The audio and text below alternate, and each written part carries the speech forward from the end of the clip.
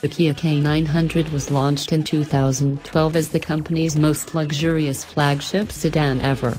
Designed to replace the Amanti, a four-door which had moderate success in the US, the K900 brought Kia closer to its goal, to provide a solid competitor for the Audi A8, BMW 7 Series, and Mercedes-Benz S-Class.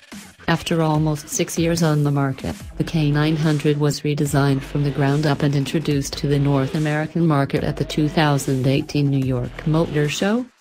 Unveiled for the first time in its home market in South Korea, the new K900 looks significantly more modern than its predecessor.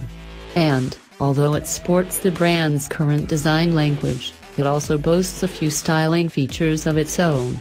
It looks like Kia wants the K900 to stand out in the lineup, which is a good strategy in a market where sedans from different segments share too many features.